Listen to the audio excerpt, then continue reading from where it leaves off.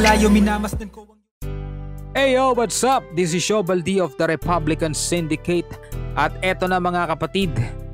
Ah, Pakikinggan na natin, i-review na natin yung sagot ng Bebe Boys na mas papampam doon sa disback ni Charlie Mac mga kapatid kay, kay Billy na kung babalikan nga natin ang pagkakasunod-sunod no?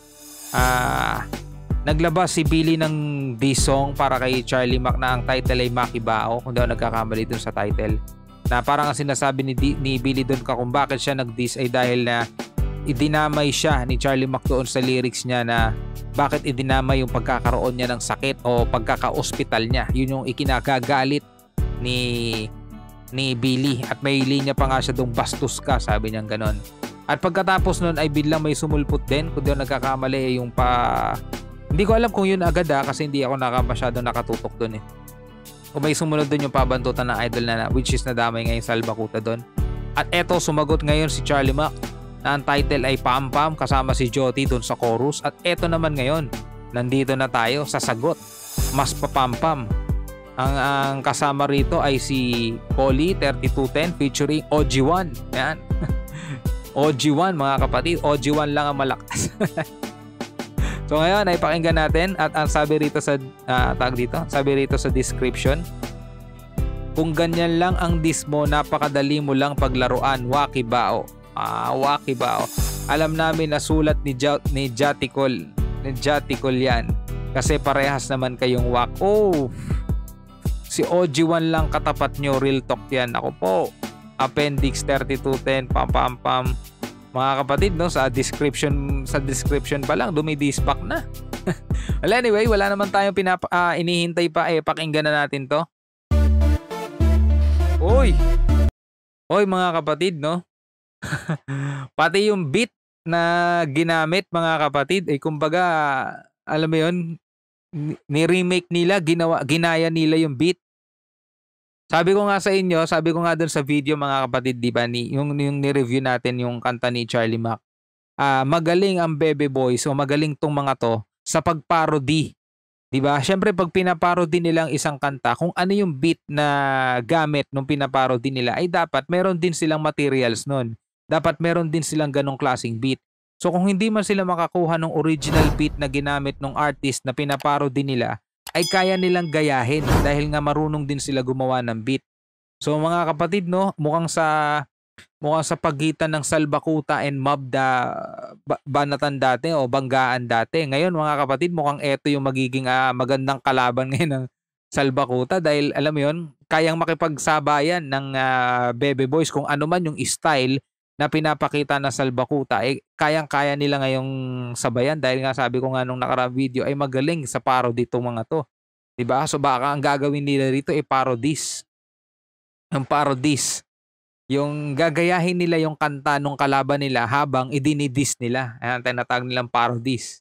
Yan, mas papampam. At yung beat na ginamit. Naalala ko yung chorus pala, yung intro pa lang eh.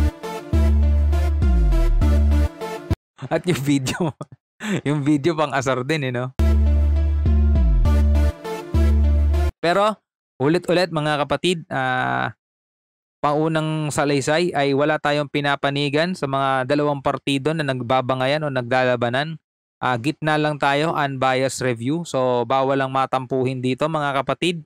Kung ano man ang masabi ko, kung ano man ang ma- masabi ko, makakasakit man sa damdamin ng kung sino man ay pagpasensyahan nyo na dahil tayo ay nagpapakatotoo lamang sa ating nire-review. Alright? So, ituloy na natin to. So, nagkakasabay yung album ko tsaka yung Santo Ko na yung kasikatan? Pwede na! Anong tawag sa gagong ng didis pero di naman sinasagot? Lalo kang Hoy, pati yung chorus, no? Sino kaya yung nagko-chorus nito? Ang ganda ng ano niya, ang ganda ng pagkaka-modulate ng boses niya. Ginaya. eh sabi ko na nga eh, parodies eh. Anong tawag sa gagong ng didis pero di naman sinasagot? Mas lalo ka papampam At panay ang reya kay Luni Ingit nyo'y wala nang ang gamot Mas lalo ka papampam Gusto niya palagi siya ang bida Di ka ba mahal ng mama mo? Mas lalo ka papampam Estado na kayo ni Waki Bao Sa Donggalo kayo lang ba no? Mas lalo ka papampam Saludo sa Donggalo, wag lang sa Salbatuta Sino ang ulya? Alright, so dito sinasabi niya, so, saludo sa Donggalo. Kumbaga, yung Donggalo mismo, wag lang daw sa Salbatuta, sabi niya gano'n. So Salbatuta ang tawag niya sa Salbakuta.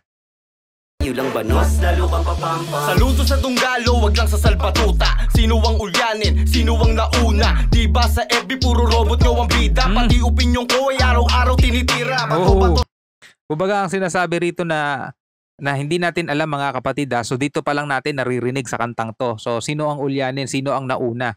Kumbaga ang sinasabi rito ni kung di ako nagkakamali si Collie dahil babase natin sa title ng pagkakasunod-sunod no. Collie Afternoon 3210 tapos featuring OG1 so pang last verse si OG1.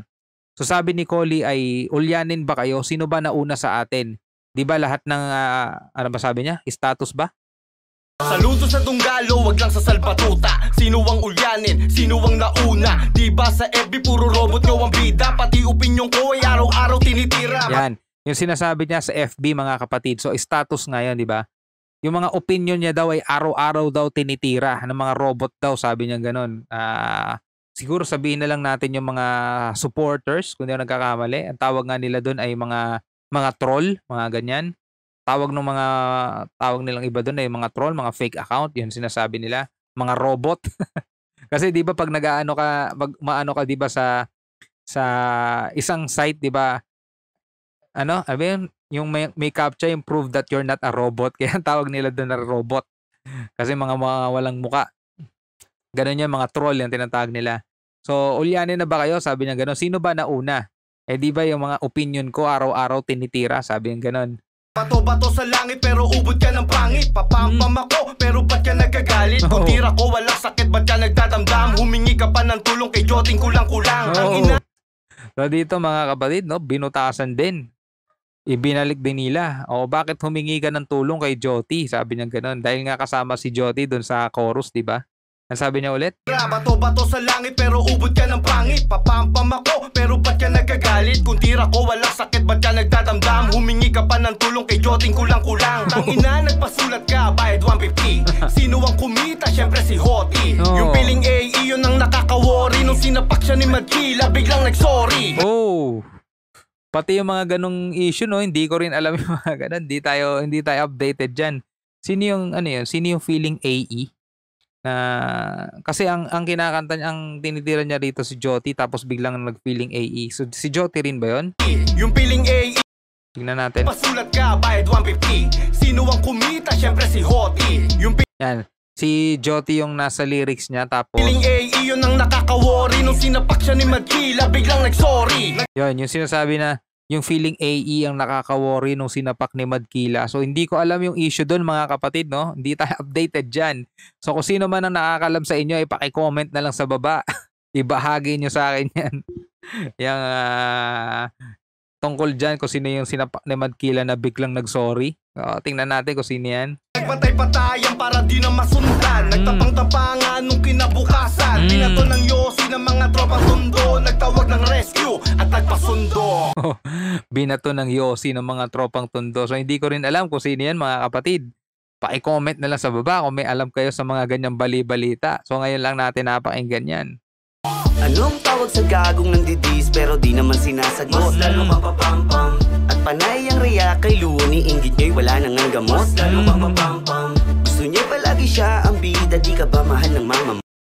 Pang isa may hawak pang balunggay tapos itong isa sumasayaw na parang nagtititok. Yung isa naman ano, ano to? Naka-helmet na merong ano sa ulo. Mas lalo kang papampam Estado na kayo Bao Sa Donggalo kayo lang ba no? Mas lalo kang papampam Nagpa-picture ka pa sa kotse Di naman sa'yo masyado kang papansin oh.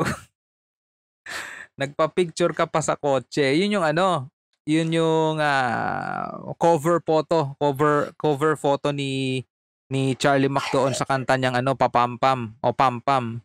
'Di ba? Kung naaalala nyo mga kapatid, ako naaalala ko talaga dahil kani-kanina lang yun. Wala pang ilang minuto yung nakakaraan. Sabi ko pa nga sana all nga kung yun yung sasakyan ni Charlie Mac ay ah, napakaangas, Mustang. So sinasabi rito sa second verse ni 3210, kung di ako nagkakamali, ay ah, nagpa-picture ka lang sa kotse. So hindi kanya yun, sabi niya ganun. Sa kotse Di naman sa'yo masyado kang papansin Oo. Ngayon mo lang sa pinanggante Tang ina kawawa ka lang sa'kin Waki ba? Mm. Pero mo yung style na ginawa ng Salbakuta no, ni, ni Charlie Mac mga kapatid. At yung beat mga kapatid ay ibinalik din. Uh, talagang magaling sa mga paro ditong mga to. Kaya malamang kapag nagtuloy-tuloy ito, no, uh, ang sarap, ang sarap nilang panoorin. Dapat ata pag nagre-review tayo, meron takong popcorn dito eh. tao. Putang ina mo, wag kang magpa-oto Si Joti ko lang sa laring kaya kami tato. Mm. Si Joti ko lang punot dulo ng mga gulo. Kupal siya sa kupal kahit saan mga anggulo. Oh. Lahat ng sinasabi niya iyong sinusunod. Pag sinabi niyang subo ay kay lumuluhod. Oh. Tang ina, ganyan ka ba? Ka down sa iyong anito Ginagawa kang robot kahit mukha kang tito. Ikaw ang paborito, nasalpa ka ng dildo. Tuwan-tuwa ka pa pag binigyan ng isang libo. What the fuck? Mag-isip ka wakibao Tumatanda ka ng tinatawanan lang ng tao. Anong tawag sa gagong ng didis pero di naman sina At matindi yan eh, yung second verse na yan mga kapatid, matindi yun. Mas lalo kang papampam. At panay ang reya kay Luni Ingit nyo'y wala nang ang gamot Mas lalo kang papampam. Gusto niya palagi siya ang bida. Di ka ba mahal ng mama mo? Mas lalo kang papampam. Bistado na kayo ni Waki Bao. Sa Donggalo kayo lang ba no? Mas lalo kang papampam. Ano, kumusta ka na? Jetae, kumusta ka na? And mga kapatid, ang king of this, king of rap, mga kapatid, OG1. Ah, lang yan, OG1, mga kapatid. So, tingnan natin kung anong kung anong mga wordplay at kung anong mga multi at mga at mga matitinding mga bars ang bibitawan ni OG1, mga kapatid. Pakinggan natin yan. Panos, lalo kang papampa. Ano, kumusta ka na? Jetae, kumusta ka? Naglakatan na ka Hindi ka mananalo. Naglakatan na bigasa Kung ito na nga putang ina nyo Tatatapusin ko na to. Naglakatan na pitik kong ito. Lahat na kinalaban kung ito Hindi ka naman nalasan dalawa. Siyaw yung lagi na mamatay ka na sa ano Para kung ito na malabay Targa sa atin ng larangan. Teka na muna.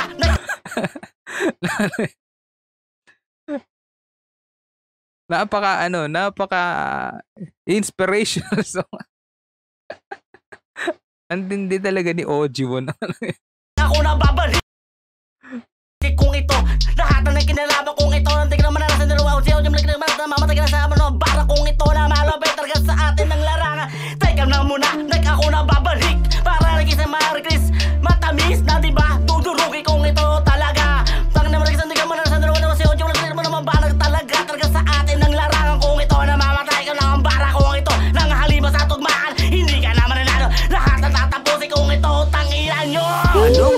Gagong ng didis pero Ang tindi naman.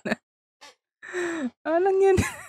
pero di naman sinasagot Mas lalo kang papampam Ojiwon ang nagdala eh. At panay ang reya kay Luni Ingit nyo'y wala nang ang gamot Mas lalo kang papampam Gusto niya palagi siya ang bida Di ka ba mahal ng mama mo? Mas lalo kang papampam Bistado na kayo ni Waki Bao Sa Donggalo kayo lang ba no? Mas lalo kang papampam Sabi ni Collie Uy. Pati yung ano no, pati yung speech ni ni Joe doon sa doon sa Pampa mga kapatid na Disney Charlie Mac ay ginaya rin nila no. Meron din silang ano, meron din silang speech. Mga hindi makasagot agad ay talo na Mhm. Bakit ba ang hilig-hilig mong magpapansin? Mm. Tapos, pag kami naman ang nagpapansin, nagagalit ka Oh. Anong gusto mong gawin namin? Pabayaan ka lang sa mga katangahan mo? Mm. Diba sabi mo, kupal kami? Diba ang magnanakaw, galit sa kapwa magnanakaw? Kaya ang kupal, galit din sa mga kupal. Oy. Paano ba May point, may point, may point.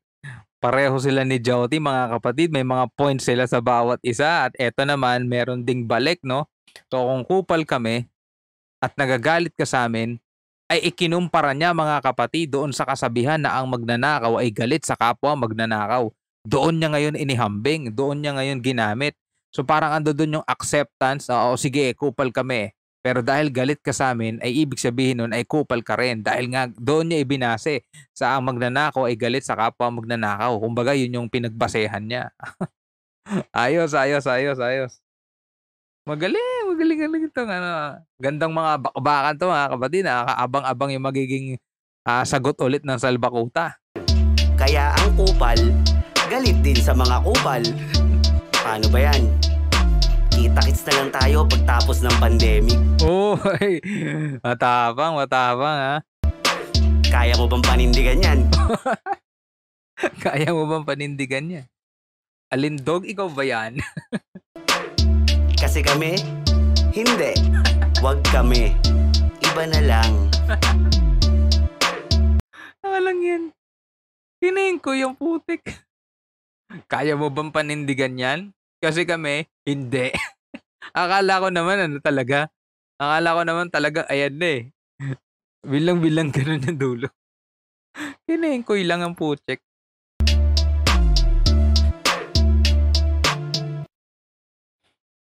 So etong Bebe Boys mga kapatid no. Mukhang eto yung ano eh, magandang kasagutan talaga ng ano eh, Salbakute. Unang-una hindi sila naghahanapan o hindi hinahanapan ng Bebe Boys na hindi wala wala wala yung mga pang 1990 na sulat. Alam mo yun yung mga ganon na ano, kung ano yung style na ibinabato ng Salbakuta mga kapatid, ayun din yung style na ginagamit nila sa pagsagot.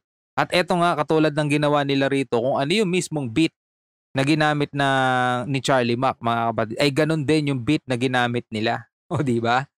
Ang matindi, no? So abangan naman natin ngayon yung magiging magiging disback ulit ni Charlie Mack at ni Joti pa rin, di ba? Kasi di- dito sa kantang to ay nadamay ulit si Joti kaya aabangan ulit natin 'yan. Pero nga pala no, kung di nyo pa napapanood yung review natin doon sa Mamonic Style doon sa Amina ng Mananabas at sa Kanibala Subas ay hanapin niyo yan dito sa aking aking ah, YouTube account. Dito sa YouTube ito sa YouTube account ko. Baka di nyo pa napapanood yung aking review. At syempre yung kanta na inilabas namin ni Kakin mga kapatid pakinggan nyo yan. Actually may video yan eh. Na, nakita ko lang din dito sa YouTube. Kaso, kaso syempre alam nyo na baka makopyright kaya picture lang yan pero kung gusto nyo mapanood yung video ay nandoon sa aking ah, Facebook account pero napaka ano nap, maraming maraming salamat sa nag-chorus at doon sa talagang siya ang nagdala nung kantang yan kay Joshua Marie napakahusay. Yan, napakahusay talaga. At syempre, ah, saludo rin ako sa aking kagrupo. Matagal ko nang hindi rin nakakasama si Kakin. Sana magustuhan niyan aming munting handog mga kapatid. Ang title ay Kung Ilalaban Pa. Yan. Sana ay napakinggan nyo na yan. Kung hindi nyo pa napapakinggan ay ilalagay ko na lang din yung link sa description. O kaya naman ay pwede nyo bisitahin itong channel ko para makita nyo at mapakinggan ninyo ang aming kanta. So sana ay nagustuhan nyo rin itong review natin at shoutout nga pala kung nakikita nyo. Yan. Salamat nga pala kay Alindog. Kay Alindog mga kapatid sa pagbibigay ng kanyang yan, pagbibigay ng kanyang ah, Alindog shirt. At shoutout din sa Yon sa napakahusay din ng mga kasuotang ipinagkaloob niya. At syempre sa Haslas. At kung sino man sa inyo ang gusto pang umiscore nitong Alindog t-shirt ay pwede nyong kontakin dyan si Dondeng. Yan, si Dondeng. At syempre sa Blind Rhyme shirt din kay Boss Denmark, uh, shoutout din. At kung di pa kayo nakakapag-subscribe sa mga channel nitong mga pinakinggan natin mga kapatid ay mag-subscribe din kayo. For uh, for the love of music tayo mga kapatid, no? So, wag tayong magpapa-apekto masyado sa kanilang mga batuhan. Syempre, alam ko naman may, may kanya-kanya din tayong ina-idol. Pero syempre, i-appreciate lang natin yung yung musika, yung kanilang mga sagutan eh alam mo na sana ay manatiling hanggang sagutan lang sa musika lang at wag na sa mga personalan. At again mga kapatid ay panalo pa rin tayong mga nakikinig sa kanilang mga matitinding mga batuhan at uh, ako ay nag-enjoy sa aking ni-review. So hanggang dito lang mga kapatid at kung bago ka pa lamang dito sa akin channel ay huwag mong kakalimutan na mag-subscribe. Pakiclick mo na rin yung notification bell para updated ka whenever na maglalabas ako ng mga ganitong klaseng video. So once again, this is Shobal D. Peace out!